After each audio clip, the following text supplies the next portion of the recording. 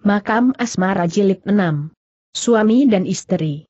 Sidara baju ungu setengah membuka kelopak mata dan berkata tersendat-sendat, BWNyo, aku, tak bersalah, nenek BWM memeluknya erat. Dengan air mata berlinang-linang ia menghibur, nak, engkau, menolong orang tetapi sekarang, siapakah yang akan menolongmu? Nenek itu terus menangis keras. Kim Loji terkejut, serunya, apakah, apakah dia, engkaulah yang mencelakainya. Dia penasaran sekali dan terus menggigit mutiara beracun, tiada obatnya lagi, nenek BWE berseru geleng sedih. Han Ping maju selangkah, apakah dia benar meninggal dunia tampak rambut nenek BWE gemetar. Jelas nenek itu sedang dilanda kesedihan, kemarahan dan ketenangan. Air matanya membanjir. Engkau pembunuh, tiba-tiba terdengar sebuah bentakan serta angin hantaman tongkat ke arah Han Ping. Han Ping berpaling dan melihat bahwa yang menyerangnya itu lelaki baju merah yang kakinya buntung. Namun dia hanya tertawa tawar, baik, aku akan mengganti jiwanya Han Ping, pejamkan mata menunggu maut. Pada saat tongkat hendak merenggut jiwa Han Ping, tiba-tiba sebatang tongkat bambu menjulur untuk merintangi tongkat besi si baju merah. Jangan melukainya seru BWNU.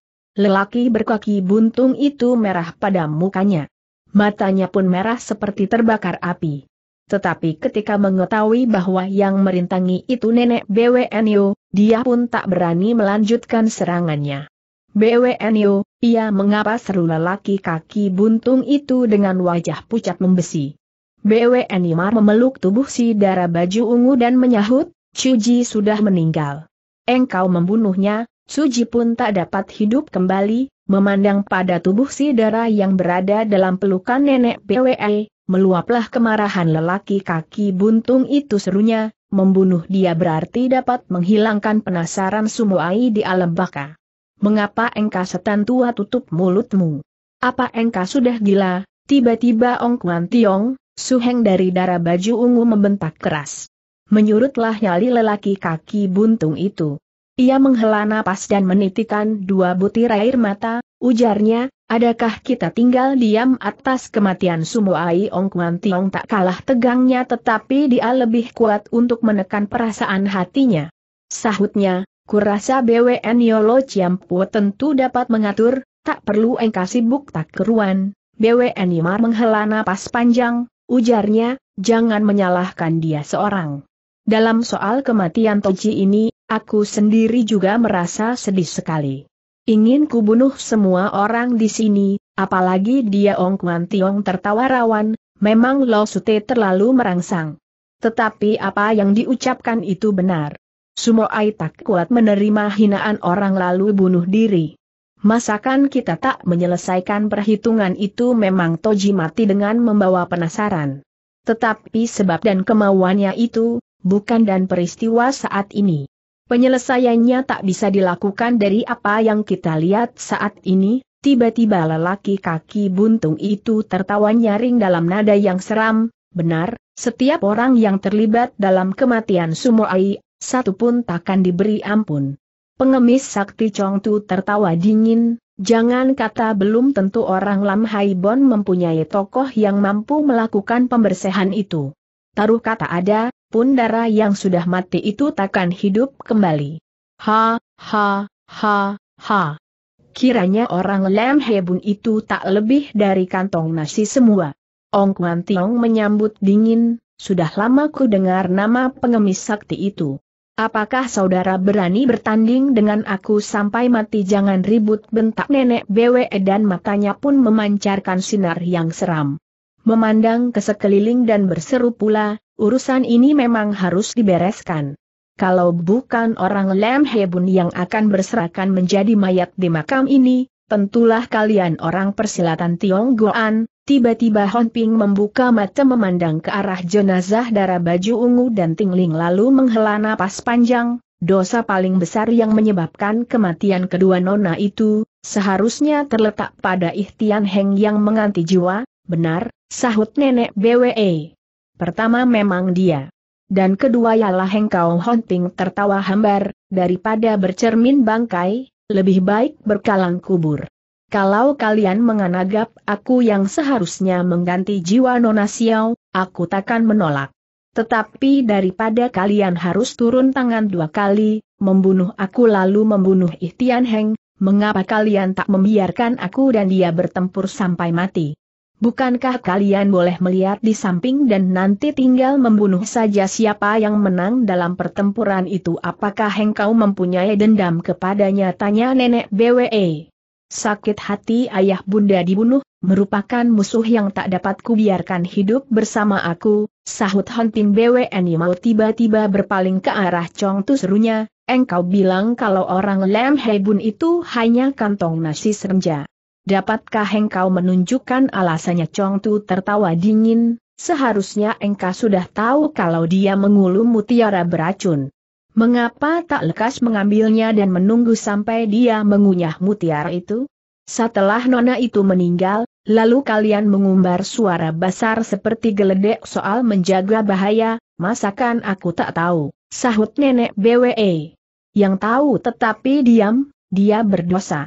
Menurut keadilan, engkaulah yang harus dibunuh lebih dulu untuk menemani jiwanya seru Chong pula. BWN Imar menunduk memandang darah baju ungu yang berada dalam pelukannya.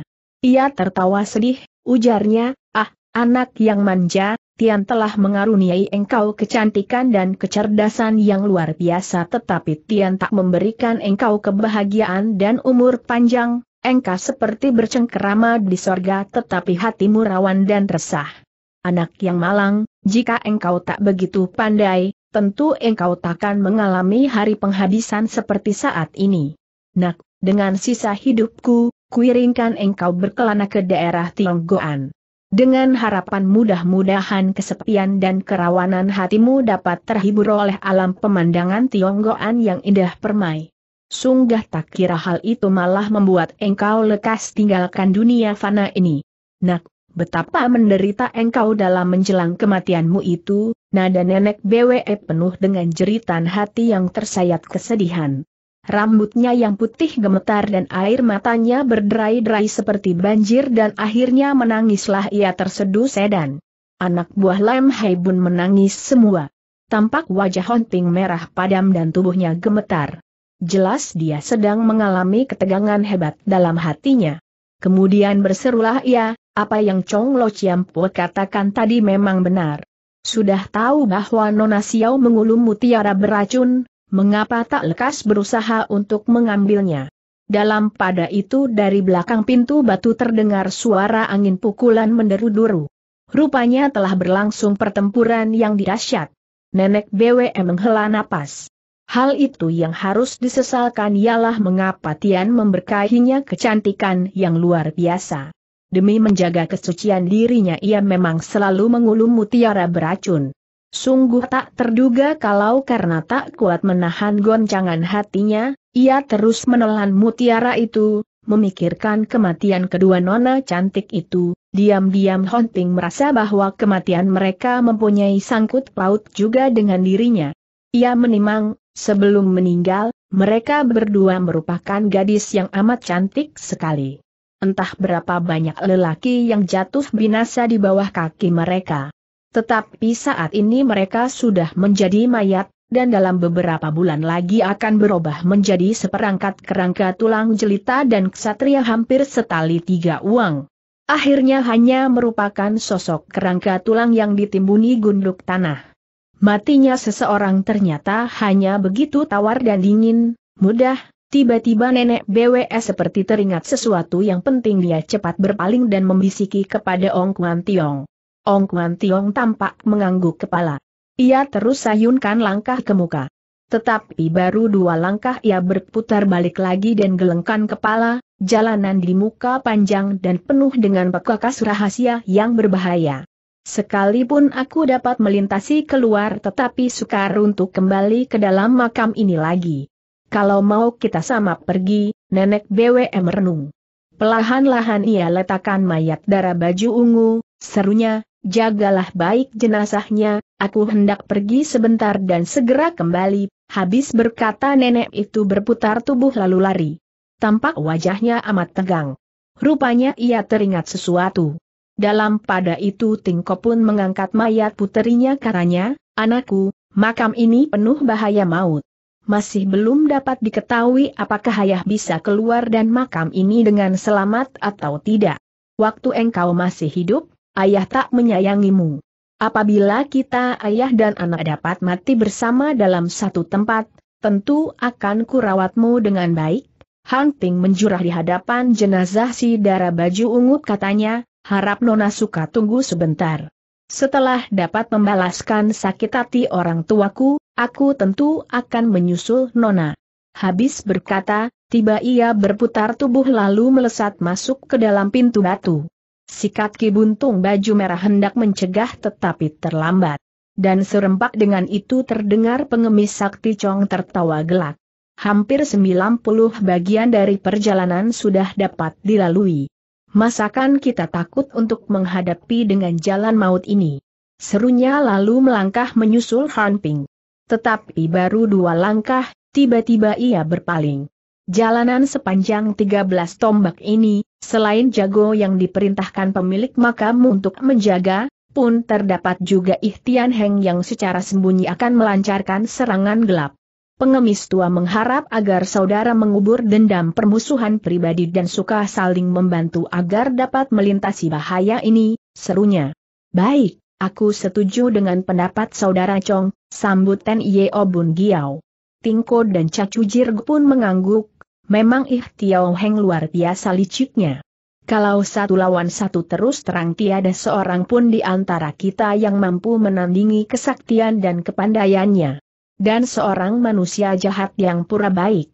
Dia gemar sekali mempelajari kepandaian untuk mencelakai orang. Tak perlu kita harus menggunakan care perwira seperti yang lazim dalam dunia persilatan. Marilah kita bersatu padu membasmi orang itu Chong Chu hendak bicara tetapi tak jadi. Ia terus berputar tubuh dan berjalan ke muka. Sejenak memandang ke sekalian orang, N.Y. Obun Giao berbisik, Saudara Leng, Sejak berkumpul dengan rombongan tokoh itu ketua lembah seribu racun tak mau bicara. Dia hanya meramkan mata. Baru setelah N.Y. Bun Biao menegurnya, ia gelagapan dan membuka mata. Apa kiranya dia tengah salurkan tenaga dalam untuk memulihkan tenaganya dan saat itu semangatnya pun sudah tampak penuh. N.Y. Bun Giao agak terkesiap, serunya, pikirku, aku dan saudara Leng akan berjalan di muka. Saudara Cha, berjalan di belakang kita. Dengan ilmu pukulannya Peh Po Sin Kun, dapat membantu rombongan ini untuk melintasi serangan Ihtian Heng, ketika ketua lembah seribu racun hendak menjawab tiba-tiba nenek BWN Yimar muncul. Di belakang nenek itu mengikuti seorang darah berambut panjang. Melihat darah itu serentak ketua lembah seribu racun berseru, Ceng, lekas kemari tetapi Siang Kuan Kop pun cepat berseru, Ceng, Kemari ketua lembah seribu racun tertawa meloroh, saudara Siang Kuan Marga Siang Kuan dan lembah seribu racun, sama mempunyai nama yang gemilang dalam dunia persilatan. Apabila kita bisa terangkap dalam perjodohan, sungguh merupakan keluarga yang hebat, Siang Kuan Ko tertawa dingin, masakan putriku yang begitu cantik dan pintar, sudi menjadi istri putramu yang buruk muka, hektometer. Saudara Leng, harap hapus saja keinginanmu itu agar jangan menimbulkan kesusahan, seketika berubahlah wajah Lengkong Xiao, serunya dingin, dalam tempat dan saat yang masih belum diketahui bagaimana jadinya dengan diri kita, aku tak mau bertengkar mulut dengan saudara Xiang Kuan. Tetapi soal pernikahan itu puterimu sendiri yang sudah meluluskan. Kalau tak percaya silahkan tanya kepadanya, Siang Kuan Ko terlawa dingin, Urusan penting seperti pernikahan itu, masakan seperti permainan kanak. Harus ada juga jomlang dan enam yang saksi. Satu pun tak boleh kurang. Lalu siapakah saksi saudara Leng itu dengan terlongong siang Kuan Wan Cheng memandang ayahnya dan Lengkong Xiao. Kemudian tanpa mengacuhkan keduanya, ia terus melangkah masuk ke dalam pintu batu. Rupanya Siang Kuan Ko dapat melihat perubahan muka putrinya. Maka cepat ia berseru Cheng Ji, Cheng Ji. Mengapa engkau tak kenal lagi ayahmu tetapi bukan berhenti atau menyahut, nona itu malah terus pesatkan langkah masuk ke dalam. Tetapi Lengkong Sian lebih cepat. Apalagi dia lebih dekat dengan pintu. Maka ia terus mendahului menyusul masuk. N.I.O. Bun Giao, Siang Kuan Ke, Tingko dan Kim Loji pun segera mengikuti masuk ke dalam pintu batu itu. Kini yang tinggal di ruang itu hanya orang Lam Hei Bun. Nenek BWS segera mengeluarkan mustika tenggoret kumala, menurut apa yang tersiar dalam dunia persilatan Tionggoan, mustika ini dapat menyembuhkan segala macam racun. Entah apakah dapat menyembuhkan racun mutiara yang berada dalam tubuh Tuji Ong Kuan Tiong menyahut gopoh. Sumuai sudah menelan mutiara racun itu ke dalam perut. Apakah kita harus menghancurkan mustika itu dan diminumkan pada Sumoai BWN mau tertegun? Ah, hal itu sebelumnya tak pernah kupikirkan, Ong Kuan Tiong menghela napas, entah apakah suhu sudah mengetahui kalau Sumoai biasa mengulum mutiara beracun itu ayah Tuji, tahu segala apa.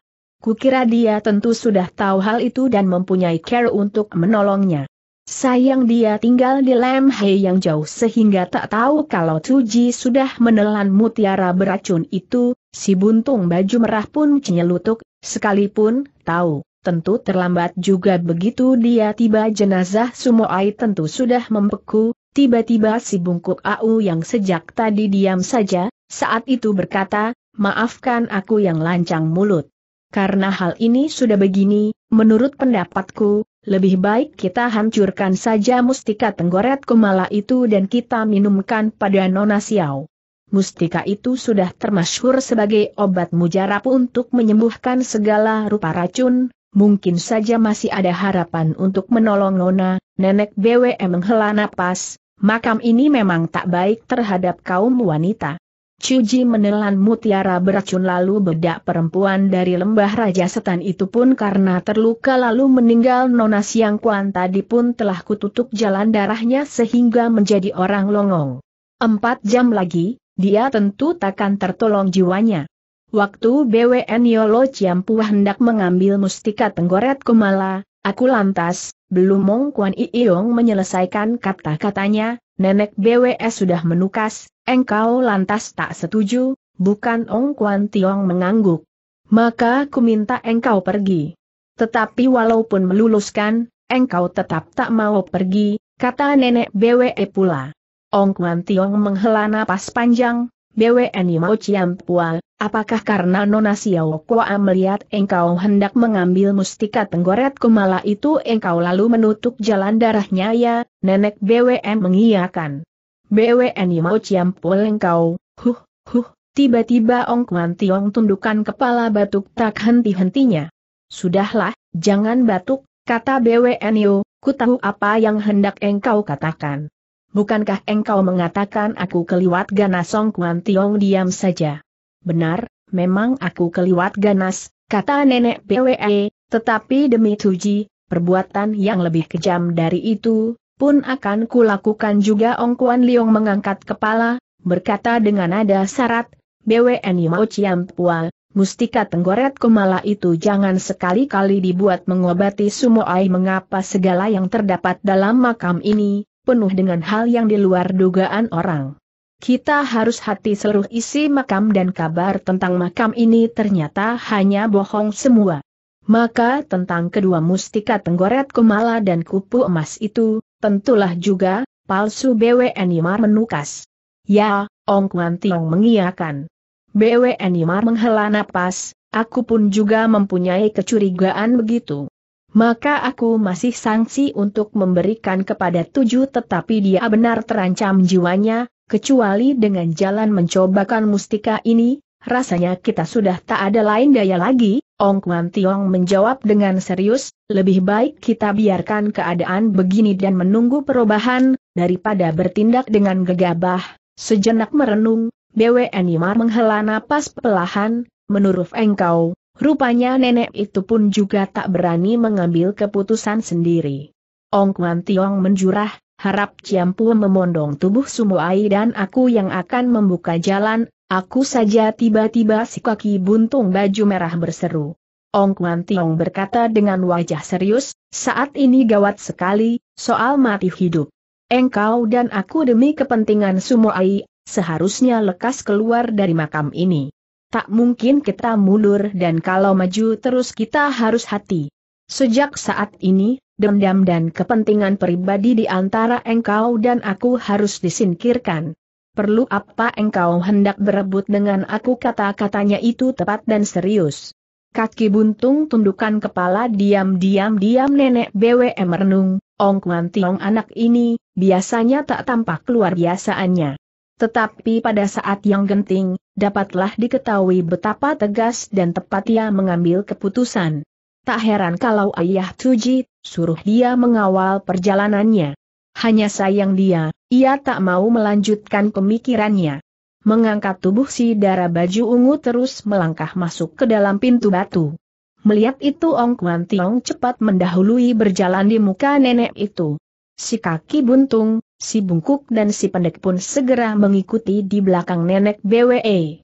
Seketika mereka mendengar deru angin pukulan yang keras kira pada jarak beberapa tombak jauhnya.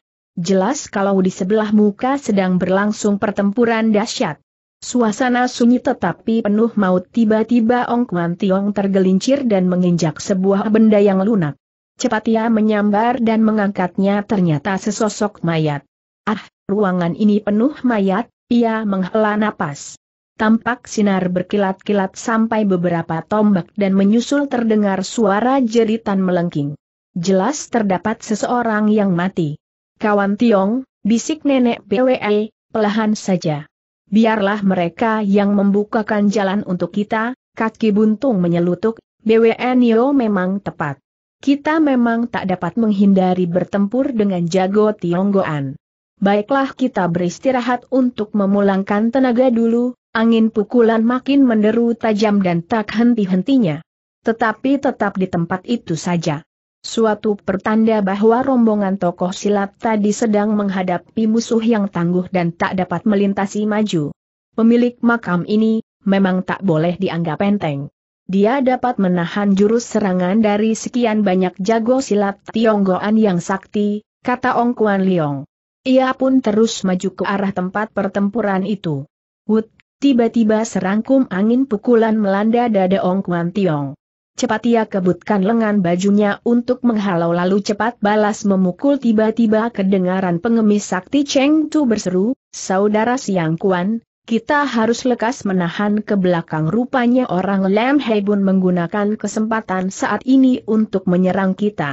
Dalam keadaan yang remang, terdengar Hunting berteriak marah, siapa yang menghadang aku, Tentu mati sinar berkelebatan menyilaukan lorong jalan yang sunyi dan gelap itu sesaat terdengar jeritan ngeri susul menyusul. Rupanya ada beberapa orang yang rubuh di bawah sabatan pedangnya. Sebuah suara yang parau terdengar dari tengah lorong, kalau kalian tak mampu merintangi, baik menyisih saja tiba-tiba BWNI merasakan tubuhnya gemetar hampir mau rubuh. Ia segera berbisik kepada Ong Kuan Tiong, Kuan Tiong, Suara itu benar tak asing lagi, ya, aku pun merasa demikian juga. Seperti nada suara suhu kata Ong Kuan Tiong. Aneh, kata BWNU, dalam beberapa tahun ini, dia belum pernah pergi dari Lam Hei. Mana mempunyai waktu untuk membangun makam kuna ini jawab Ong Kuan Tiong, kepandaian suhu, setampun tak dapat menduga, tiba-tiba beberapa mati manusia memancar di sebelah muka. Rupanya ada beberapa orang yang hendak menghadang jalan. Siapa bentak Ong Kuan Tiong? Si kaki buntung, si bungkuk dan si Kate cepat berhamburan menerjang maju. Rupanya orang Lam Hebun itu sudah terbakar dengan kemarahan. Kesedihan atas meninggalnya suamoai mereka, hendak ditumpahkan kepada setiap musuh yang dijumpahinya. Wut, si bungkuk mendahului lepaskan hantaman. Siang Kuan Ko menggembor keras dan menangkis, benturan kedua tenaga pukulan itu, kumandangnya bergulung-gulung memenuhi terowongan jalan. Kalau ayah Tuji benar berada dalam makam ini, anak ini tentu tertolong, kala BWNU. Mudah-mudahan Tian melindungi agar Sumuai dapat hidup kembali, kata Ong Kuan Tiong tiba-tiba terdengar si kaki buntung baju merah berseru keras, pengemis tua benar tak bernama kosong. Cobalah engkau terima lagi sebuah pukulanku ini pengemis sakti Chong Tu tertawa nyaring, kita memperoleh kesempatan baik sekali untuk mengadu kepandaian. Tak usah heran, pedang berkelebat dan Siang Kuan Ko berteriak, Saudara Chong hanya bertangan kosong dan dia menyerang dengan tongkat besi apakah tak rugi? Baiklah saudara Chong menghadapi si bungkuk dan si pendek itu saja, aku yang menghadapi dia Chong Tu tertawa, tak perlu saudara Siang Kuan sungkan. Karena kedua orang itu maju berbareng, saudara boleh gunakan senjata menghadapi mereka.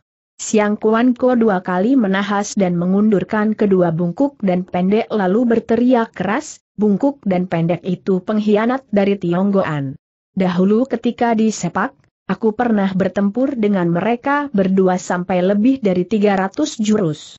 Kepandaiannya hanya begitu saja, saudara Siang Kuan jangan bermulut besar, bentak si pendek, hari ini kalau tidak sampai ada yang rubuh, kita jangan berhenti, sambil berkata si pendek sudah mengeluarkan senjatanya, sebatang pit, pena, besi lalu menyerang maju.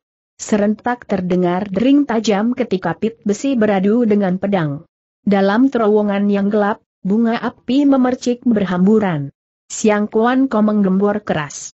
Tangan kiri menabas dengan jurus Heng Toan San atau menebas putusawan gunung.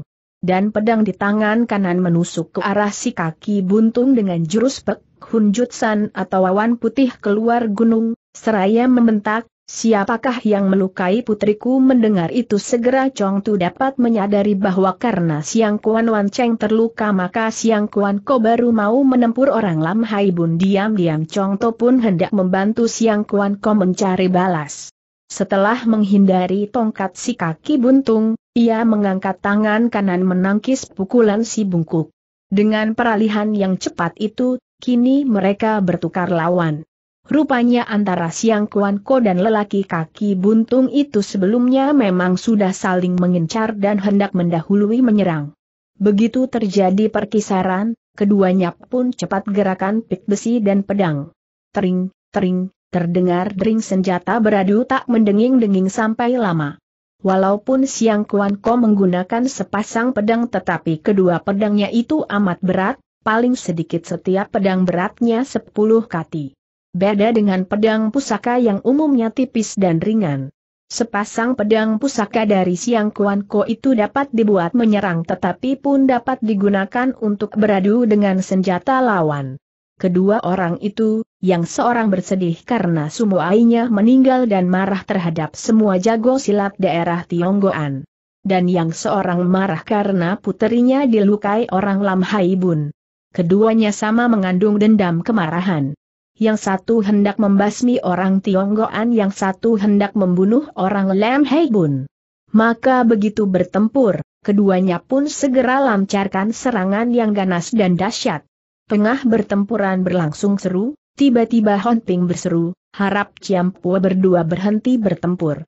Pemilik makam sudah memberi perintah kepada anak buahnya supaya berhenti, Tergopoh-gopoh pengemis sakti Chong Tu lepaskan hantaman untuk mengundurkan si bungkuk dan si pendek, kemudian berseru, Saudara Siang Kuan, jangan menyia-nyiakan waktu, mari kita jalan terus sesaat kemudian pengemis sakti itu pun berseru kepada orang Lam Hebun, pemilik makam sudah memerintahkan anak buahnya untuk berhenti. Pintu pun sudah terbuka untuk para tetamu. Kalau kalian memang benar hendak adu kepandaian dengan jago persilatan Tionggoan, tak mesti harus kalian lakukan sekarang. Mari kita temui pemilik makam itu dulu, setelah itu kita boleh lanjutkan pertempuran lagi, si kaki buntung tak mau menghiraukan tetapi ia terpaksa menurut setelah diperintah nenek BWS supaya berhenti menyerang. Mari kita pergi, Chong Tu menarik lengan baju Siang Kuan Ko terus diajak melangkah ke muka. Cepat sekali mereka sudah mencapai sepuluh tombak jauhnya. Kecuali lorong terowongan, pemandangan di situ tiba-tiba berubah. Sebuah ruang yang besar penuh dihias dengan pot bunga. Delapan anak berpakaian biru, dengan pedang terhunus menjaga di muka pintu bercat merah. Lengkong Xiao, Ketua Lembah Seribu Racun cepat maju menyambut dan berkata kepada Siang Kuan Ke, Selamat saudara Siang Kuan berkat lindunganku, puterimu telah selamat tak kurang suatu apa dapat melintasi jalan maut tadi, Siang Kuan Ko memandang ke muka. Tampak puterinya tegak di samping dengan sinar mata yang rawan. Ceng, jago tua itu berseru seraya menghampiri. Siang Kuan Wancang memandang ayahnya, tertawa dan pelahan-lahan berputar tubuh. Siang Kuan Ko terhenti, dua butir air mata menitik keluar. Perasaan orang tua itu terharu sekali. Merawat dan mendidik berpuluh tahun dari kecil sehingga sampai remaja, menyebabkan ayah itu merasa terharu karena dirinya diperlakukan sebagai orang tak dikenal oleh putrinya. Penderitaan itu amat menyiksa batin Siang Kuan Ko. Saudara Xiao Kuan, bisik pengemis sakti Chong Tu, puterimu hanya menderita serangan gelap dari orang dan untuk sementara ini hanya pingsan saja. Asal kita dapat keluar dari makam ini, tentu mudah kita dapat mengobatinya, Siang Kuan Ko berpaling memandang pengemis tua itu, mengusap air matanya dan berkata, Terima kasih saudara Chong, sejenak memandang ke sekeliling. Pengemis sakti Chong Tu tiba-tiba tersenyum, ah, Rupanya tempat ini sangat bagus sekali untuk kuburan tulang manusia, Ihtian Heng berseru nyaring, kalau saudara sudah menggantikan orang saudara dan mempersilahkan kita masuk, mengapa saudara tak lekas mengujuk diri tiba-tiba terdengar pintu bercat merah yang tertutup rapat tadi, berderak-derak terbuka. Seorang yang bertubuh pendek kecil dan berpakaian hitam, melangkah keluar, dan danan orang itu memang lucu, memelihara kumis berkepang dan tangannya memegang sebatang pipa yang mengkilap, berbaju pendek tetapi celananya panjang sekali sampai menebar ke tanah. Hang Ting kerutkan alis, berpaling ke arah Kim Loji, Paman, apakah orang itu juga tergolong orang sakti dalam dunia persilatan aku sendiri juga belum pernah melihat dia, entah dari golongan apa, sahut Kim Loji. Tampak orang pendek baju hitam itu berputar-putar tubuh dan tegak berdiri di samping kiri pintu bercat merah. Tak lama kemudian, muncul pula seorang wanita pendek baju putih yang terus berdiri di samping kanan pintu merah itu. Kemunculan kedua orang pendek itu, disambut dengan gerakan dari kedelapan kacung baju biru yang berkisar dari pintu dan berhenti pada jarak 2 meter. Serempak mereka acungkan pedang merebah muka sehingga membentuk sebuah pagar pedang. Pengemis Sakti Chong Tu mendengus sejek, hektometer, hebat benar pertunjukan mereka. Tepat pada saat ia bicara, dari dalam ruang terdengar suara orang tertawa gelak. Seorang lelaki tua berpakaian biru, sambil memanggul kedua tangannya ke punggung, berjalan pelahan-lahan keluar. Sekalian tokoh tegang regang. Pada saat itu mereka bakal menghadapi jawaban dari rahasia makam gua yang selama berpuluh-puluh tahun menjadi buah pembicaraan di dunia persilatan. Dengan suara yang nyaring orang tua itu berseru, sejak berpisah di Gunung Hengsan, cepat sekali sekarang sudah sepuluh tahun lamanya entah apakah di antara seudara yang datang ini, ada yang kenal padaku, pada saat dia bicara, kedelapan kacung itu pun segera berpencar mundur ke dua belah samping dan tegak berdiri dengan menjulaikan pedangnya. Ihtian Heng pun tertawa keras, oh, kukira siapa, kiranya engkaulah. Sungguh hebat sekali engkau ini karena dapat mengelabui kaum persilatan Tionggoan selama lebih dari sepuluh tahun tenang orang tua baju biru itu keliarkan matanya memandang sekalian tokoh lalu berkata, yang merancang siasat pengelabuhan ini, bukan berasal dari aku. Tetapi kalian tokoh sakti dari dunia persilatan Tionggoan yang mengadakan dan menciptakannya sendiri. Siasat kalian itu cepat dapat kucium dan kugunakan jerih payah mereka untuk mempermainkan kawan mereka sekalian tokoh terkesiap. Mereka menduga-duga siapakah yang dimaksud oleh orang tua baju biru atau pemilik makam itu. Chong Tu memandang ke arah tokoh itu, akhirnya pandang matanya runtuh pada diri Ihtian Heng, serunya, kecuali Ihtian Heng, Aku tak percaya di dunia persilatan ini terdapat orang yang mempunyai akal daya begitu eh Tian Heng tertawa hambar, terpaksa aku harus mengecewakan harapan saudara Chong. Tetapi kali ini saudara telah menebak salah, wajah orang tua baju biru itu berubah serius, Kapten Fa, orang itu masih berada dalam makam ini. Nanti akan ku suruh keluar untuk bertemu dengan saudara. Ia berhenti sejenak lalu berkata pula, makam ini dihias indah sekali dan dilengkapi dengan bermacam-macam pekakas rahasia. Apabila terkubur di sini, sungguh tak mengecewakan, wajah Ihtian Heng berubah, apakah maksud ucapanmu, itu orang tua baju biru tertawa gelak, karena saudara sudah berkunjung kemari, masakan saudara hendak keluar Ihtian Heng memandang ke arah pengemis sakti Chong Tu, hendak bicara tetapi tak jadi. Rupanya dia menyadari bahwa saat itu, ia sudah dimusuhi oleh rombongan tokoh itu. Apabila ia berdebat dengan orang tua baju biru itu kemungkinan rombongan tokoh itu takkan membelanya. Maka lebih baik ia diam saja tiba-tiba N.I.O. Bun Giau menyelutuk, dengan kekuatanmu seorang diri, apakah engkau yakin dapat menahan kami? Ah aku tak percaya, tetapi pengemis sakti Chong Tu mencurahkan pikirannya kepada pemilik makam yang sesungguhnya, maka ia berseru, kalau memang pencipta dan pemilik dari makam itu berada di sini mengapa tak mengundangnya keluar orang tua baju biru itu tertawa hambar, ini, tak usah terburu-buru tiba-tiba wajahnya berubah dan tak melanjutkan kata-katanya. Ketika sekalian tokoh berpaling ternyata nenek BWNyo pun sudah muncul di belakang mereka. Sambil membopong tubuh si darah baju ungu, nenek itu pelahan-lahan menghampiri. Rupanya nenek itu juga terkejut melihat orang tua baju biru sehingga tubuh si darah hampir terlepas jatuh. Pun sekalian anak buah Lam Hebun tegang sekali memandang ke arah lelaki baju biru itu. Sekalian tokoh yang berada di situ sebagian besar adalah tokoh persilatan yang ternama. Mereka mempunyai pengalaman yang luas dalam dunia persilatan. Melihat wajah anak buah Lam Hebun mengerut tak wajar, sekalian tokoh itu cepat dapat menduga bahwa tentu ada sesuatu hal yang aneh. Benar juga, setelah menenangkan hatinya, nenek BWE tertawa dingin dan mendamprat, hektometer, nyalimu besar sekali, Lelaki baju biru itu mengangkat tangan memberi hormat.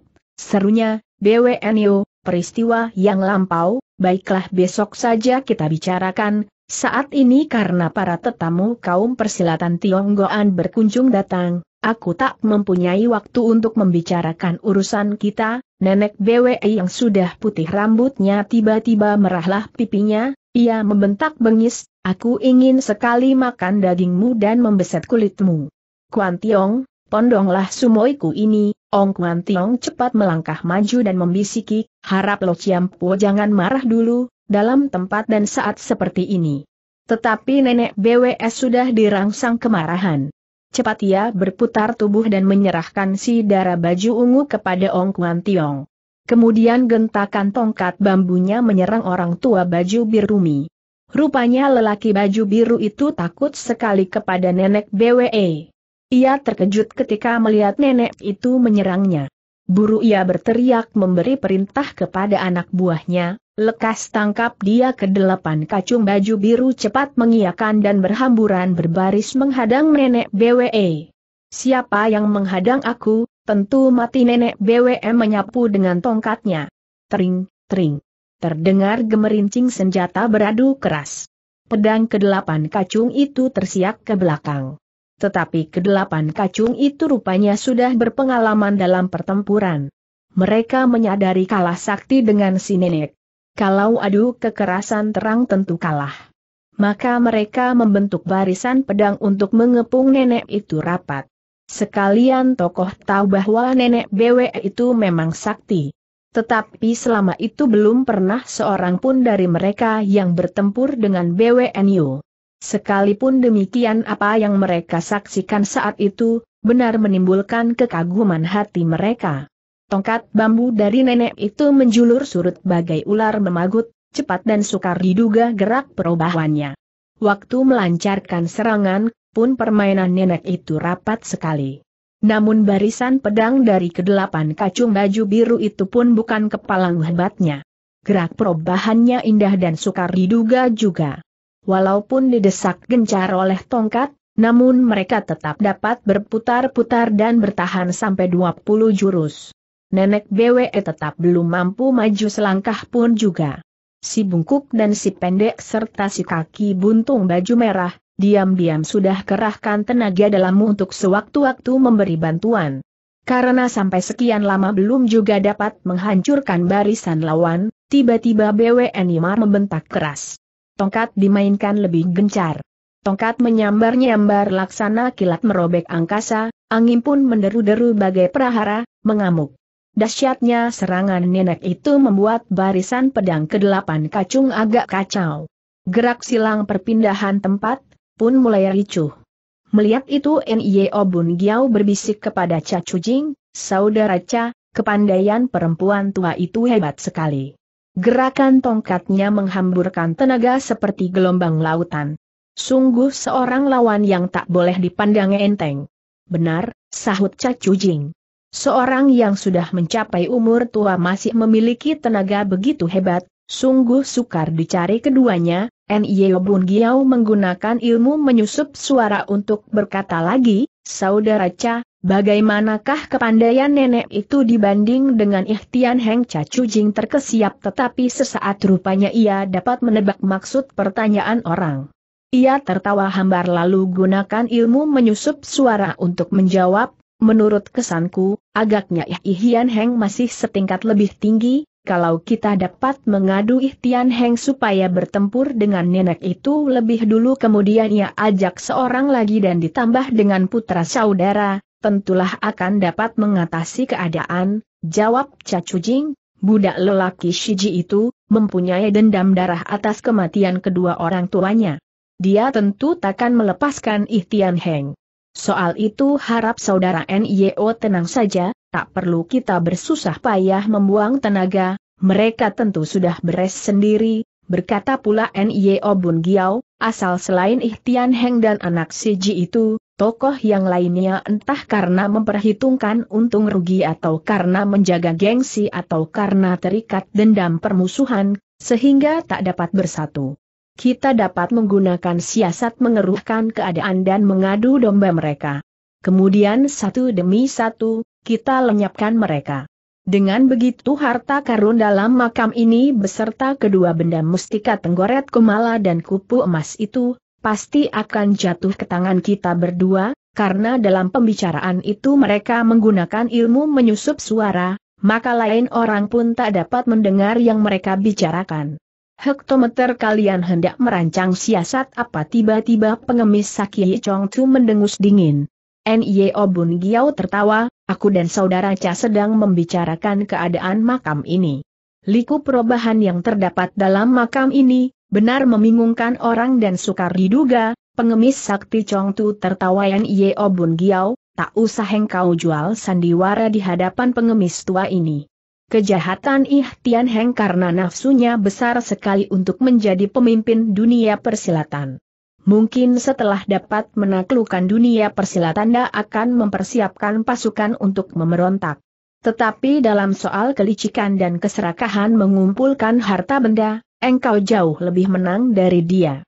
Aku tak percaya, mulut anjing itu dapat tumbuh gading, makian pengemis tua ilu benar tajam dan tepat sekali. Dia seolah-olah menelanjangi diri N.I.O. Bun Giau di muka umum. Betapa tebal pun kulit muka N.I.O. Bun Giao, tetapi mendengar makian itu, merah juga mukanya. Saat itu pertempuran antara nenek BWE dengan kedelapan kacung baju biru sudah hampir mencapai penyelesaian. Tongkat nenek BWE bergerak menyambar ke atas dan menampas ke bawah dengan perkasa. Barisan kedelapan kacung itu sudah terkuasai muka nenek BWE. Bagian tengah barisan sudah terpecah dua, perputaran gerak barisan pun macet. Sehingga mereka seperti sudah tak dapat berhubungan lagi dan harus bertempur sendiri. Dalam beberapa detik lagi, jelas kedelapan kacung itu tentu akan remuk di bawah tongkat nenek BWE. Melihat gelagat buruk, lelaki tua baju biru tadi cepat berputar tubuh terus lari masuk. Nenek BWE menggembor keras, rambut kepalanya yang sudah putih itu sama tegak berdiri. Ia menghantam sekuatnya, dua orang kacung terlempar ke belakang, secepat itu nenek Bu pun terus menerjang ke muka. Orang tua baju biru baru tiba di muka pintu merah, tongkat nenek Bu pun sudah tiba di belakangnya. Lelaki Kate dan perempuan Kate yang menjaga di kanan kiri pintu, saling bertukar pandang dan diam saja. Rupanya mereka tak mengacungkan keselamatan orang tua baju biru itu. Pada saat maut hendak merenggut, tiba-tiba lelaki baju biru itu berputar tubuh dan menjerit, BWNyo, nenek BWE yang berhati baja, tiba-tiba tubuhnya gemetar dan tongkat yang menghantam lurus ke muka itu pun tiba-tiba ia miringkan ke samping bum, daun pintu yang bercat merah itu termakan ujung tongkat hingga menggurat sampai dua tiga dim dalamnya. Lelaki baju biru itu lelekan lidah, sayangku kalau tongkat itu jatuh di tubuhku, tentu punggungku sudah berlubang, nenek BWM mendengus, manusia yang lebih nista dari binatang, ternyata engkau masih hidup, orang tua baju biru itu memandang sekalian tokoh wajahnya sama sekali tak merah karena peratan nenek BW itu. Ia berkata, karena melakukan perintah Tengcu, majikan, apakah suhu juga berada di sini bentak OMG Kuan Tiong. Lelaki baju biru itu kerutkan alis dan berpaling ke arah nenek BWE, apakah orang ini juga anak murid Lam Hebun Ong Kuan Tiong memperhatikan bahwa orang tua baju biru itu selain mempunyai hubungan erat dengan perguruan Lam Hebun, pun agaknya mempunyai hubungan juga dengan nenek BWE. Maka cepat ia menyusuli kata lagi dengan nada yang ramah, aku memang murid pertama dari Lem Hebun, tiba-tiba Ong Kuan Tiong hentikan katanya. Ia menyadari kalau dirinya sudah diusir dari perguruan dan sampai saat itu masih belum resmi diberi ampun oleh suhunya. Nenek BWM menjawab dingin, kita tak ada waktu bicara dengan engkau. Di mana Tangcu sekarang? Lekas bilang orang tua baju biru itu merenung lalu menjawab, Tangcu sedang melakukan semedi, Toto terancam maut jiwanya, harus menemui Tangcu. Lekas menyisih, aku hendak menghadap Tangcu, seru nenek BWE cemas tiba-tiba orang tua baju biru itu berbisik, BWNyo, dekatkanlah telingamu kemari, sebagai jawaban, nenek BWE ayunkan tongkatnya dan membentak, Enyah kau. Ia terus melangkah masuk ke dalam pintu merah, orang tua baju biru itu kaget dan terus ulurkan tangan mencengkeram nenek BWE, jangan BWNyo, jangan masuk, plak, nenek BWE ayunkan tangan menampar bahu lelaki itu sehingga jatuh jungkir balik sampai beberapa langkah. Jangan bergerak, cepat Hunting mencekal tangan orang itu dan melekatkan pedang ke mukanya orang itu pun tak berani berkutik lagi. Tetapi nenek BWM memandang Hon Ping dengan beringas, serunya, anak buah Larn Hebun, betapapun besar kesalahannya, lain orang tak boleh ikut menghukumnya. Lekas lepaskan dia wajah Hon Ping berubah gelap. Setelah merenung beberapa saat, barulah pelahan-lahan ia lepaskan tangan orang itu. Jelas pemuda itu tak senang dengan ucapan nenek BWE, tetapi dia tak mau memperbesar bentrokannya dengan orang Lem Hebun dan terpaksa melepas orang tua baju biru itu. Begitu dibebaskan, lelaki baju biru itu terus lari menghadang di muka pintu dan berkata dengan nada bersungguh kepada BWNyo, BWNyo, apabila Tangcu tak menderita sesuatu yang terpaksa, masakan dia mau melepaskan aku keluar?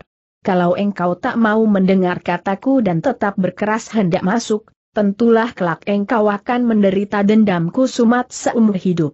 Semula nenek BWE tertegun tetapi kemudian ia tertawa dingin, selama hidup, aku takkan percaya omonganmu lagi, ia terus menyiak orang itu dengan tongkatnya lalu melangkah masuk. Berhenti sekonyong-konyong lelaki tua baju biru yang ketakutan tadi berubah memberingas bengis dan menyerang BWNU.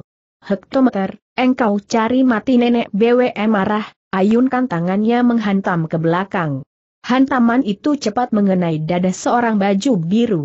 Ia mendesah, muntah darah terus rubuh terkapar di tanah tiba-tiba BWN Imar menghela napas panjang. Ia tertegun seperti patung. Lelaki tua baju biru itu merangkak bangun, berseru, Tangcu, Tangcu menduga, salah, ia deliki mata lalu rubuh lagi. Si kaki buntung baju merah cepat maju. Tangan kirinya mencengkeram tubuh lelaki baju biru itu dan tangan kanannya menampar punggung orang. Lelaki baju biru itu menghembus panjang dan pelahan-lahan membuka mata. Suhuku bagaimana seru si kaki buntung cemas. Kata lelaki baju biru itu, kalau dalam waktu sepenanak nasi tangcu masih belum keluar, silakan kalian masuk, si kaki buntung membentak, aku tanyakan bagaimana keadaan suhu Ji Sute, jangan bersikap keras bentak Ong Kuan Tiong. Lelaki tua baju biru berkata, Tangcu, Tangcu, saat ini berada dalam keadaan yang gawat, ah, peristiwa dunia, mengapa, begini kebetulan, pada saat dia, orang itu tak dapat melanjutkan kata-katanya karena darah dalam tubuhnya menggelora keras dan pingsanlah dia. Walaupun demikian, jelas orang itu mengatakan bahwa ketua Lem Hebun yang mendirikan makam kuna itu, sedang menghadapi suatu peristiwa hebat. Rupanya BWN juga menyadari hal itu. Cepat ia mencengkeram lelaki baju biru itu lagi dan membentak, apa yang terjadi dengan Tangcu, lekas bilang pun si kaki buntung segera lekatkan tangan kanannya ke punggung orang untuk menyaluri tenaga dalam. Tak berapa lama darah orang itu pun mengalir lagi. Setelah menumpahkan dua kali muntahan darah dari mulut, ia dapat membuka mata lagi dan berkata, Tancu, pada saat hendak keluar menghadapi mereka, tidak terduga-duga, bertemu dengan Subo, engkau maksudkan ibu dari Toto benar, bercucuran air mata BWN Yima ketika mendengar berkata, ibu dari Tutu, apakah benar masih hidup lelaki baju biru menjawab, tak mungkin salah, aku melihat jelas dengan mata kepalaku sendiri. Sesaat berjumpa kembali, keduanya segera bicara nericis, ah, Tangcu dan Cubo memang sepasang suami istri yang luar biasa. Mereka bercakap-cakap lama sekali tetapi aku tak mengerti bahasa apa yang mereka gunakan, sambil memondong tubuh si darah baju ungu yang ternyata bernama Xiao Toyo Iu. Ong Kuan Tiong menghampiri dan bertanya, lalu, lelaki baju biru menghela napas panjang, mengapa engkau terburu-buru? Lalu, mereka, tiba-tiba bertempur, sekarang mereka di mana lelaki baju biru berkata, mereka adu tenaga dalam. Saling berlekatan tangan dengan tegang, ai, Pertempuran semacam itu merupakan pantangan besar dalam dunia persilat, seru BWNyo, lekas bahwa aku ke sana tetapi lelaki baju biru itu gelengkan kepala, sambil bertempur dengan Cubo, Teng Cu gunakan ilmu menyusup suara memberitahu kepadaku. Suruh aku menyaru menjadi dia dan keluar untuk menyambut mereka. Asal dapat mengulur waktu sampai sepenanak nasi saja, Tangcu tentu sudah dapat mencari daya, daya apa seru nenek BWE. Aku tak tahu, berkata Ong Kuan Tiong dengan nada seram, apakah suhu hendak, membunuh Subo hal itu sukar dibilang, kata nenek BWE, suhumu itu berwatak angkuh dan Subomu juga keras hati. Sekali keduanya beradu kepandaian, tentu tak mau berhenti sebelum ada yang mati, kemungkinan sukar untuk menghentikan mereka, Lelaki tua baju biru itu terengah-engah. Namun ia masih paksakan diri berkata, jika saat ini kalian hendak menerobos masuk, dikhawatirkan kedua orang itu akan menderita luka titik jangan bilang lagi, bentak nenek BWE. Lalu ia meminta kepada Ong Kuan Tiong supaya menyerahkan Toto kepadanya. Setelah menerima tubuh Toto, nenek BWE berkata pula, mereka sedang mengerahkan tenaga.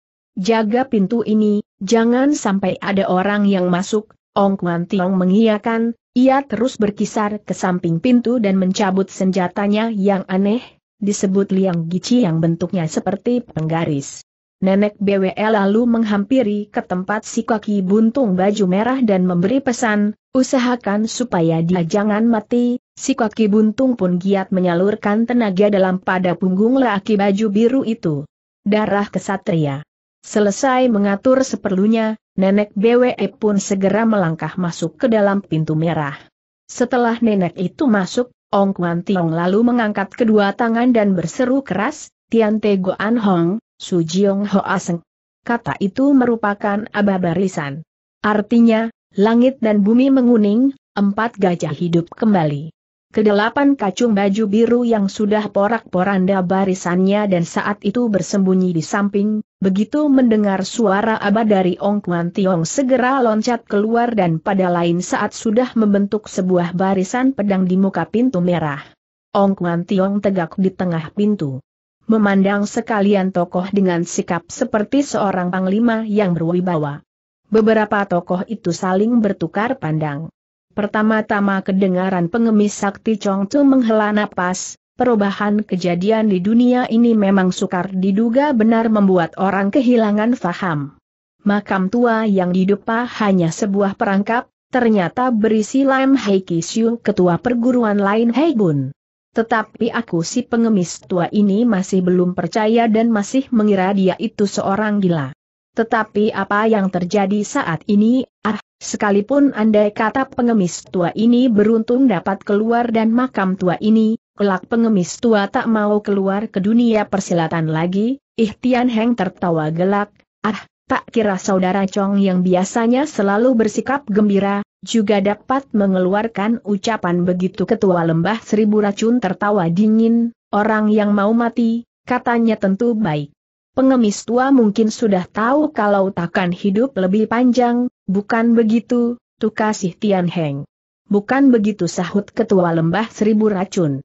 Apakah engkau kira aku dan engkau akan dapat keluar dengan selamat dari makam tua ini, kata Ihtian Heng, kata peribahasa, dua orang yang bersatu hati, kekuatannya tak dapat diperkirakan.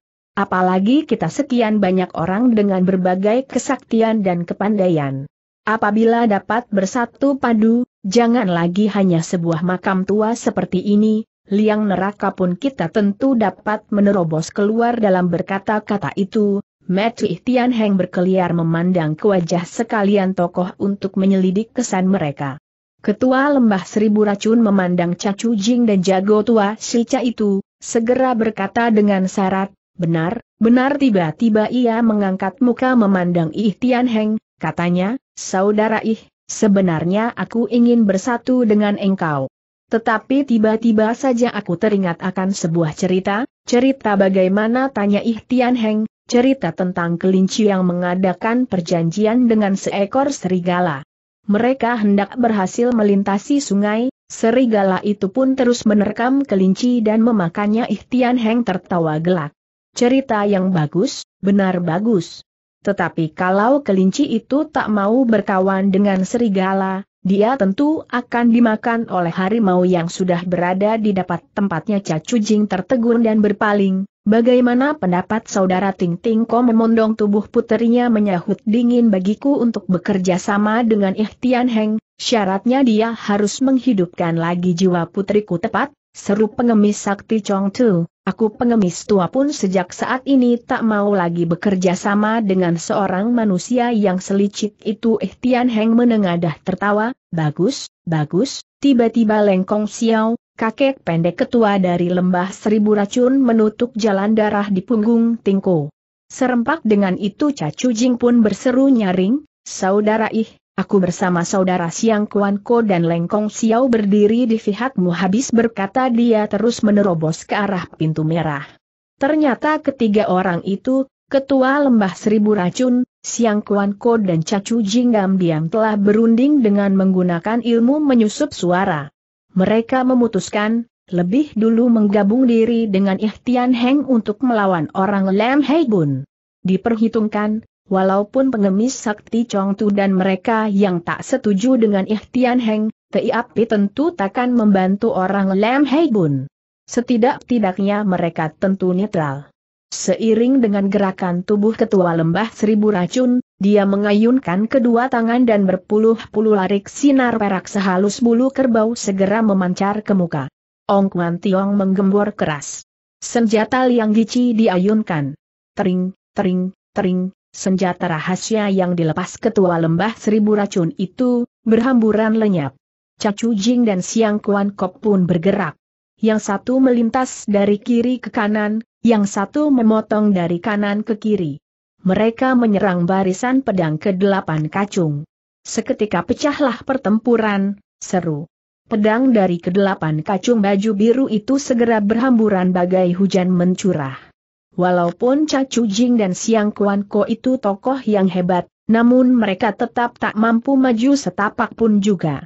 Ihtian Heng berpaling harap saudara tunggu dan melihat di samping. Biarlah aku yang akan membuka jalan darah untuk saudara, kentut bentak pengemis sakti Chong Tu. Siapa suruh engkau membuka jalan memang pengemis tua itu masih berdarah panas. walaupun ia menyadari bahwa ucapan Ihtian Heng itu hanya suatu provokasi untuk membakar hati orang, namun pengemis tua tak dapat menahan diri.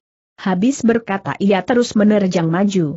Ong Kuan Tiong membentak, urusan ini bukan main. Kalau saudara berkeras hendak masuk, jangan salahkan kalau kami orang Lam Hebun akan membuka pantangan membunuh silahkan, Ihtian Heng tersenyum. Dalam berkata itu dia sudah lancarkan tujuh buah serangan sehingga membuat si pendek tak sempat menggunakan senjata pitnya. Barulah saat itu si pendek terbuka matanya bahwa Durjana nomor satu dalam dunia persilatan Tionggoan, benar seorang tokoh yang sakti dan cerdas. Ketika deru sambaran pedang sedang berkecamuk hebat, tiba-tiba dari dalam piatu terdengar suara nenek BWE berseru, harap Tang Chu memberi perintah supaya para ketua dan tokoh terkemuka dalam dunia persilatan Tionggoan suka bersabar karena sebentar lagi Tang Chu akan keluar menyambut mereka, Ong Kuan Tiong tertegun sejenak. Sesaat kemudian ia merasa longgar hati karena tahu bahwa suhunya tak kurang suatu apa. Kiranya dengan memodong tubuh si darah baju ungu masuk ke dalam pintu merah, di dalam pintu terbentang sebuah lorong panjang yang tanpa penerangan tetapi keadaan lorong itu remang tidak gelap sekali. Ada semacam sinar lembut yang memancar, entah dari mana, nenek BWE tak berani gunakan ilmu meringankan tubuh lagi. Selangkah demi selangkah ia maju ke depan. Pada ujung lorong tergantung sehelai tirai mutiara. Dari tirai mutiara itulah kiranya sinar remang tadi memancar. Dengan hati nenek BWM menyingkap tirai mutiara itu. Di dalamnya ternyata sebuah ruang yang bersih, tanpa meja kursi dan alat perabot lainnya. Hanya di sudut dinding berjajar belasan kim teng atau dingklik emas. Namun suasana ruang itu cukup indah berwibawa. Seorang lelaki tua baju biru, rambut panjang menjulai ke bahu, tengah duduk membelakangi pintu. Dia berhadapan dengan seorang wanita pertengahan umur yang cantik dengan sanggul rambut dan pakaian indah seperti putri keraton. Seri wajahnya yang berseri gemilang laksana bidadari, membuat orang tak berani beradu pandang. Mereka berdua menunduk dan mencurahkan seluruh semangatnya untuk beradu tenaga dalam. Suatu pertempuran maut dari sepasang suami istri yang aneh. Melihat adegan itu, teganglah hati nenek BWE. Maju selangkah ia berseru gemetar, cukong, cubo. Toto datang tetapi baik lelaki tua baju biru maupun wanita berpakaian putri keraton itu tetap pejamkan mata, tak menghiraukan.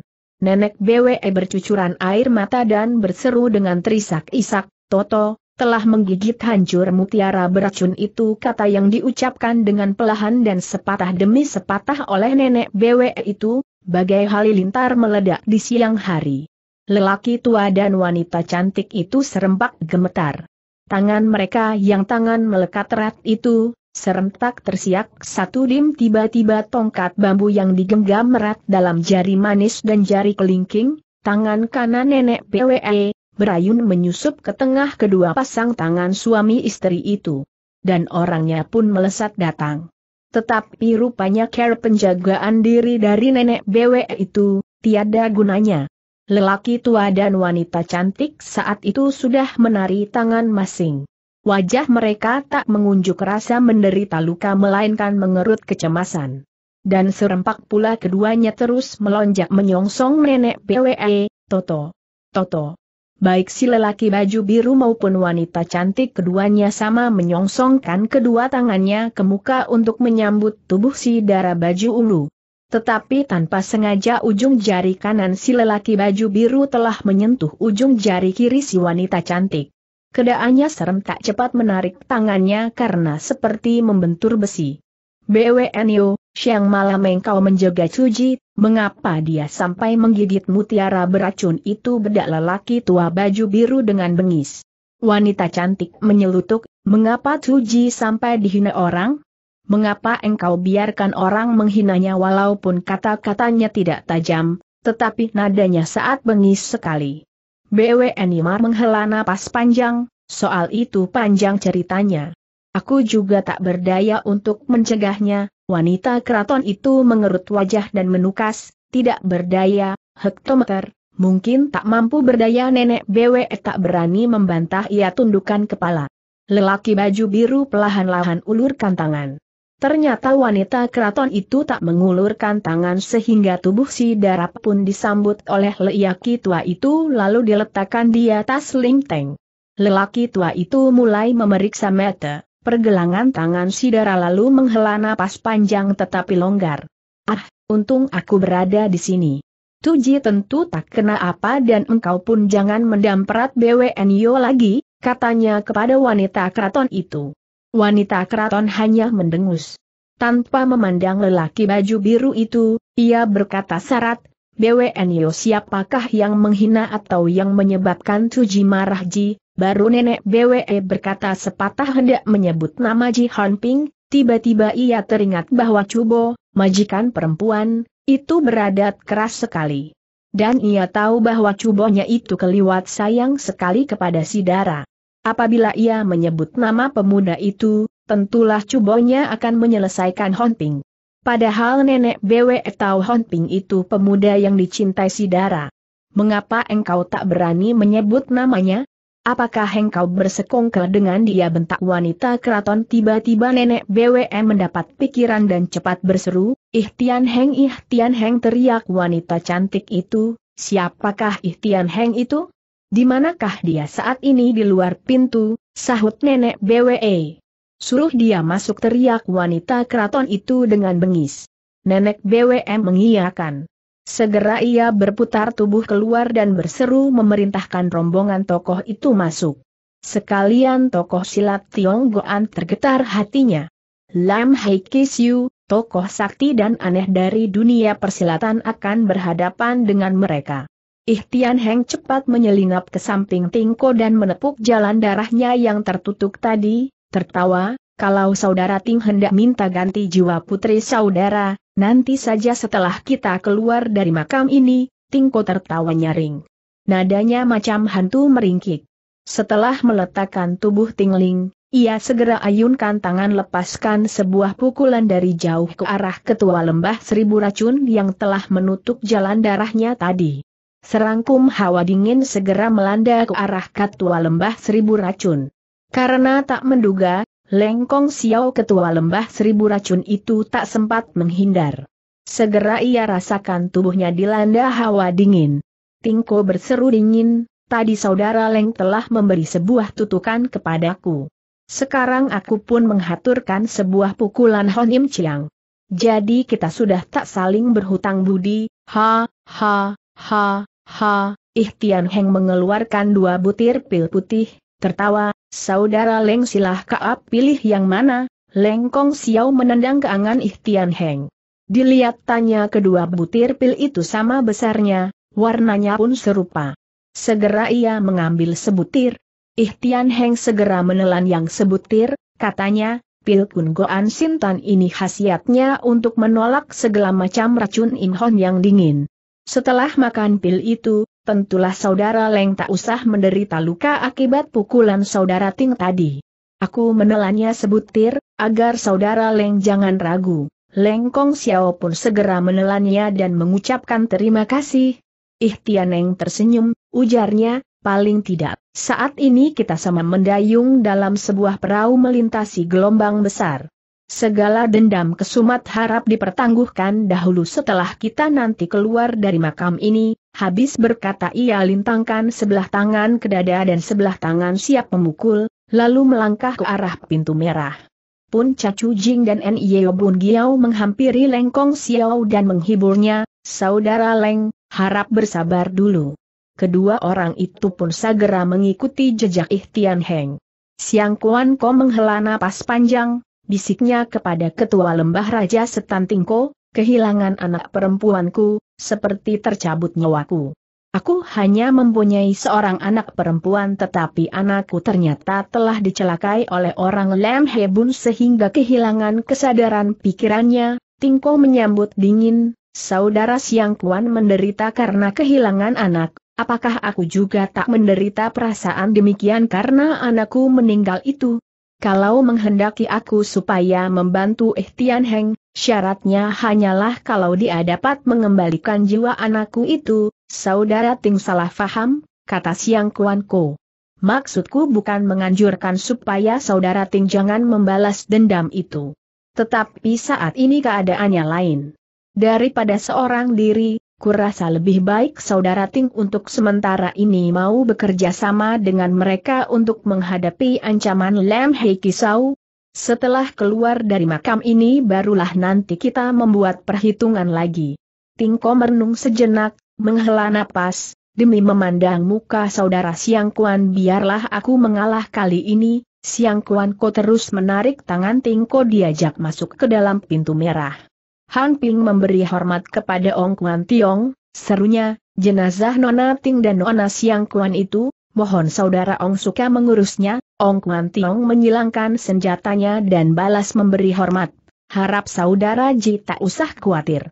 Kalau engkau masih dapat keluar dari makam ini dengan selamat, kujamin jenazah Nona Ting tentu takkan terganggu dan Nona Siang Kuan pun pasti tak kurang suatu apa, kembali Han Ping memberi hormat, Ji Ping menghaturkan terima kasih atas kebaikan saudara, habis berkata bersama pengemis sakti Chong Tu dia terus sayunkan langkah.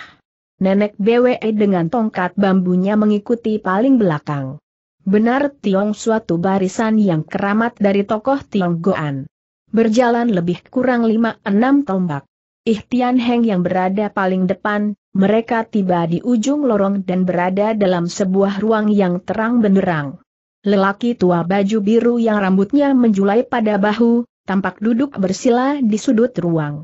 Di belakangnya tertelentang tubuh si darah baju ungu. Kedua tangan lelaki tua itu tengah mengurut-urut tubuh si darah. Rupanya ia tengah mencurahkan perhatian untuk menolong si darah sehingga seolah-olah tak mengetahui bahwa rombongan tokoh Tionggoan itu sudah masuk ke dalam ruang. Seorang wanita yang berpakaian seperti putri keraton tengah tegak berdiri di belakang dinding. Wajahnya yang cantik gemilang, menyilaukan pandang mata sekalian orang. Tetapi wanita itu tampak tenang sekali ia tak mengacuhkan kedatangan rombongan jago silat itu.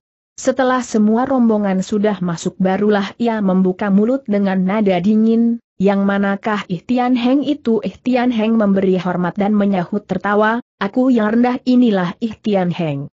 Adakah Ujin, Nyonyah, hendak memberi perintah kepada wajah wanita keraton yang segar kemerah-merahan itu segera berkabut dengan hawa pembunuhan, serunya, apakah engkau yang menghina anakku sambil mengabarkan pandang ke arah si darah baju ungu yang masih berbaring di tanah, Ihtian Heng tertawa hambar.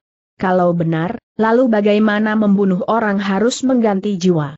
Engkau berani menghina putriku sampai dia mati penasaran, mengapa engkau masih berani hidup teriak wanita berpakaian seperti putri keraton itu. Kata-katanya penuh dengan nada keangkuhan tiba-tiba Ihtian Heng tertawa sekeras-kerasnya, dalam dunia persilatan Tionggoan, siapakah yang tak kenal aku Ihtian Heng ini seorang yang kejam dan ganas, memandang jiwa manusia itu hanya seperti jiwa semut saja? Aku sudah terlanjur berlumuran darah hidupku, kalau tambah satu dua jiwa lagi menjadi korban keganasanku, pun tak apa, wanita keraton itu kerutkan alis dan berseru dingin, karena engkau tak mau membunuh diri menebus dosa, terpaksa aku harus turun tangan. Dengan segala kerendahan dan kegembiraan hati, aku menunggu pelajaran Hujin, sahutih Tian Heng. Wanita cantik itu pun segera mengangkat tangan kanannya. Tetapi biru akan diayunkan tiba-tiba terdengar seseorang berseru, tunggu ketika wanita cantik itu berpaling, dilihatnya seorang pemuda cakap yang gagah, melengkang ke hadapannya. Siapa engkau tegur wanita itu? Pemuda itu menjurah dengan hormat. Aku yang rendah ini Ji Ping, wanita cantik membentak. Ji Ping, engkau mau apa jawab Ping? Seorang lelaki tak mau membiarkan orang lain mewakili menerima kesalahannya. Yang membuat marah sampai puterimu binasa itu adalah aku. Ihtian Heng tak ada sangkut pautnya. Kalau engkau meminta ganti jiwa, mintalah kepadaku, wanita rantik itu tertegun cepat ia memandang ke arah BWNyo, adunya, BWNyo, bagaimana ini sejenak merenung, BWNyo pun menyahut, Ya memang mereka berdua yang menjadi pembunuhnya bagus wanita keraton itu tertawa, memang kalau sebuah jiwa hanya diganti dengan sebuah jiwa kupikir tentu masih merugikan putriku, Ihtian Heng berpaling ke arah Hon Ping, hendak membuka mulut tetapi tak jadi. Wanita cantik ini berkisar dua langkah ke muka lalu berderu bengis, kalian boleh maju berdua Han Ping pun tiba-tiba melangkah setindak ke muka, kalau Lo Chium Pua hendak menuntut ganti jiwa putri Lo Chiam Pua, memang aku harus menerima, wanita keraton itu berseru tawar mati dulu atau mati belakangan, hanya sekejap saja terpautnya, ia terus sayunkan tangan menghantam. Hantamannya itu tak menerbitkan deru angin maupun suara keras indah dan lemah gemulai. Wajah Honting tampak mengerut serius, Lo Pua, maafkan kalau aku bertindak kurang tata krama diam-diam ia pun kerahkan tenaga dalam ke arah tangan dan menangkis pukulan wanita itu. Tetapi rupanya wanita itu tak mau tangannya berbentur dengan tangan Honping. Maka cepat ia mengendapkan tangannya dan terus menarik pulang. Han Ping hendak maju mendesak tetapi tiba-tiba ia merasa dilanda oleh segelombang tenaga gelap. Ia terkejut, pikirannya, kepandaian wanita ini, benar tak boleh dipandang rendah. Dia dapat menyimpan tenaga dalam yang hebat di telapak tangannya. Begitu tangan ditarik kembali, tenaga dalam terus berhamburan memancar. Hebatnya gelombang tenaga yang melanda tangan Han Ping itu hebat sekali sehingga Han Ping terpaksa harus mundur selangkah pun wanita, cantik itu tak kurang kejutnya. Ia duga dengan pancaran tenaga dalam yang dilakukan secara tiba-tiba itu, Han Ping tentu terluka berat dan binasa. Paling tidak tentu akan rubuh pingsan. Tetapi ternyata dugaannya itu meleset. Walaupun anak muda itu tersurut mundur selangkah tetapi dapat menyambut serangannya.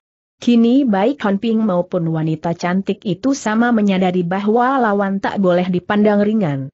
Setelah sama tertegun sejenak keduanya baru mulai melakukan serangan.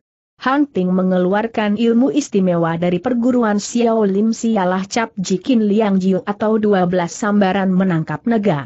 Jari jemarinya menjulur surut untuk mencengkeram jalan darah tangan si wanita Kin Leong Jiu itu memiliki gerak yang luar biasa dan sukar diduga sama sekali. Gerakan tangan wanita itu biasa saja. Carol menangkis dan menyerang, dilakukan dengan gerak yang sederhana. Tetapi ternyata jurus yang sederhana itu, dimainkan dengan tenaga yang mengejutkan orang.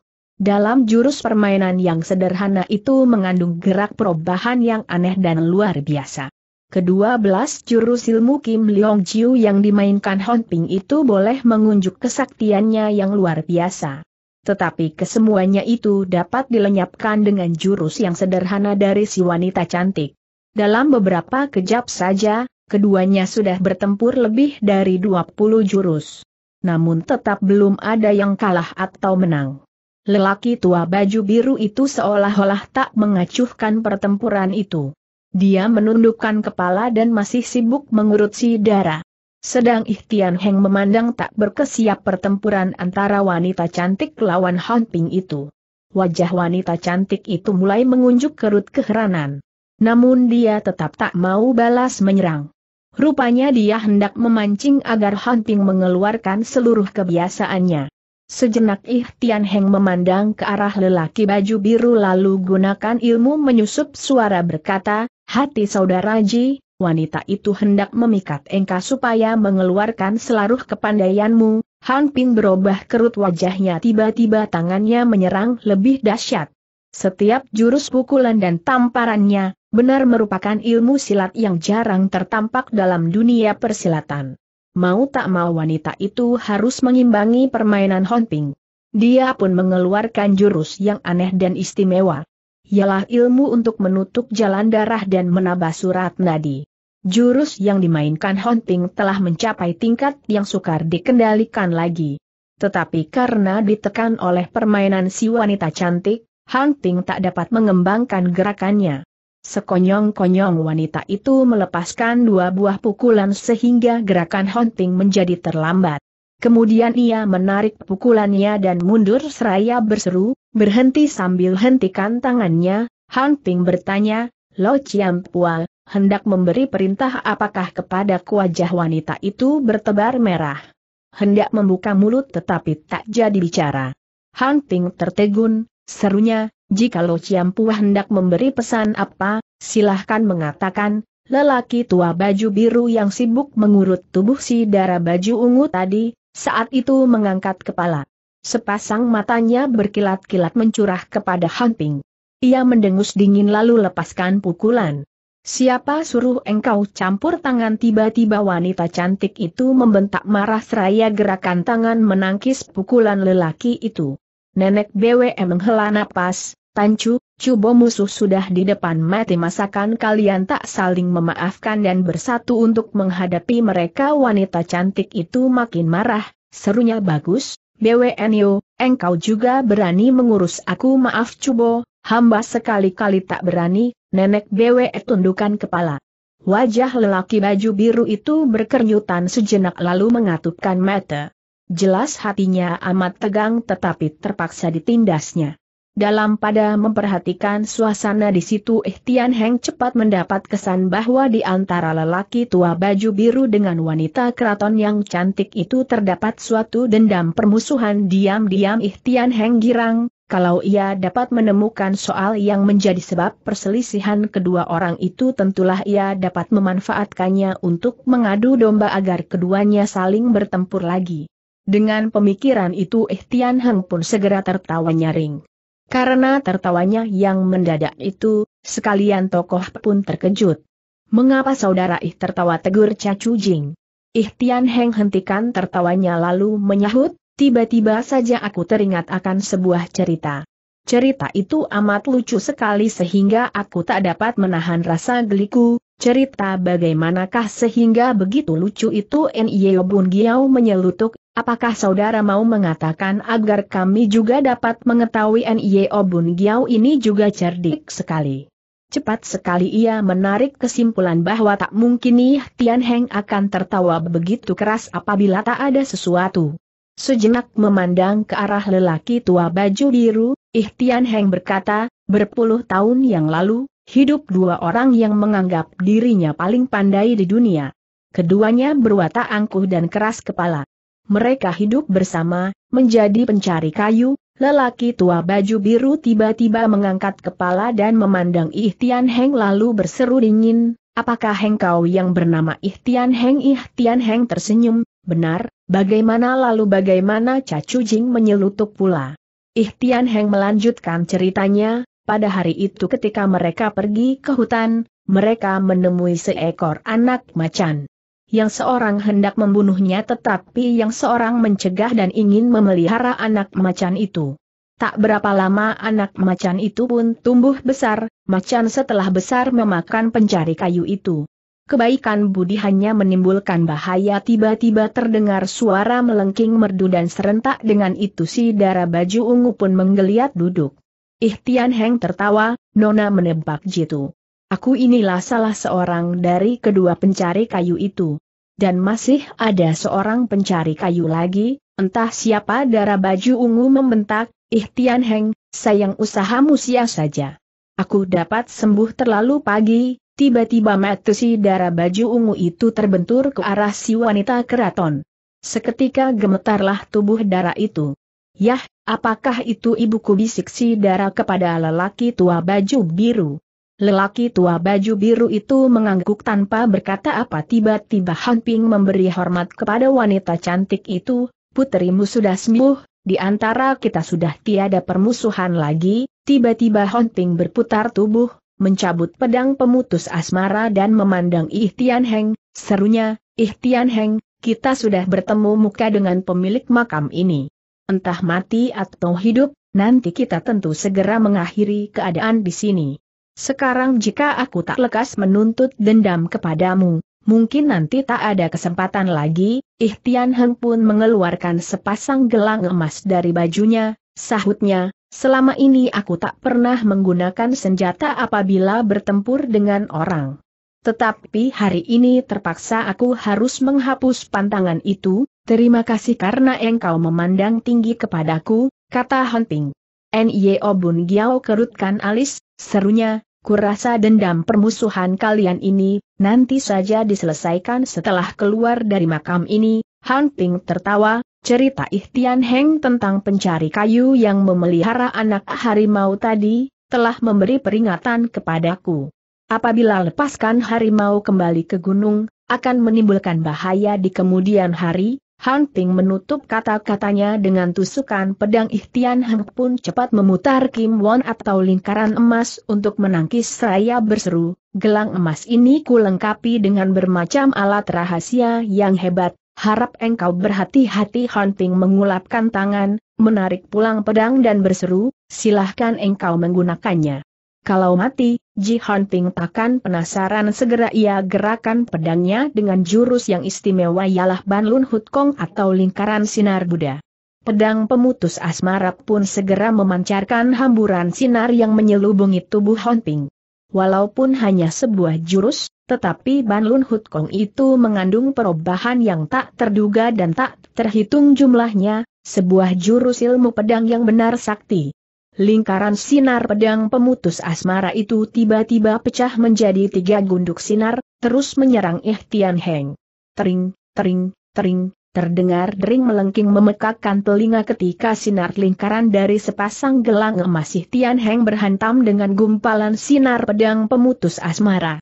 Sinar pedang pemutus asmara menggembung panjang, berganti bentuk menjadi semacam biang lala yang melingkari sinar gelang emas sekalian orang yang menyaksikan permainan kedua orang itu tersengsam kesima. Semula Ye Obun Giao dan Cha Jing hendak menasehati agar kedua orang itu untuk sementara mau menghentikan permusuhannya. Tetapi demi melihat sinar gelang dan sinar pedang seolah membungkus tubuh mereka, tokoh itu pun bingung untuk melerai mereka. Sinar pedang pemutus asmara memancarkan hawa dingin dan gelang emas pun berkilau kemilau sinarnya. Tetapi sedikit pun tidak menghamburkan suara apa. Sekalian tokoh yang berada di ruang itu, semua tokoh silat yang berilmu tinggi. Mereka segera tahu bahwa kedua orang yang bertempur itu telah mengeluarkan ilmu tenaga dalam yang tinggi. Ujung pedang dan gelang emas, mengandung tenaga, dalam yang dahsyat sekali. Tidak terdengarnya suara benturan kedua senjata itu jelas mengujuk bahwa keduanya telah menumpahkan seluruh kepandaiannya untuk menggunakan jurus simpanannya yang istimewa, mengalahkan lawan. Benar sebuah pertempuran yang dahsyat dan sengit sekali. Seluruh mata dan perhatian sekalian tokoh terpikat pada pertempuran itu tiba-tiba terdengar sebuah dengus tertahan dan sinar pedang pun tiba-tiba menyurut, sinar gelang emas lenyap. Tubuh Honting terhuyung mundur tiga langkah. Wajahnya pucat lesi, keringat mencurah seperti hujan. Lengan kirinya menjulai lemas. Jelas dia telah menderita luka parah. Di lain pihak, tampak Ihtian Heng kerutkan sepasang alis dan mengatup bibirnya erat. Rupanya dia pun sedang berusaha untuk menahan kesakitan. Setelah saling bertukar pandang beberapa saat, tiba-tiba Honting berseru, Ihtian Heng, tiga pendekar dari Lem Gak, mempunyai dendam permusuhan apa dengan engkau? Mengapa engkau membunuh ayahku dan mengapa pula engkau pun tak mau memberi ampun kepada suhuku Ihtian Heng menyahut pelahan, sederhana saja, mereka telah mengkhianati aku, Matt Hunting berkilat-kilat memancarkan sinar pembunuhan.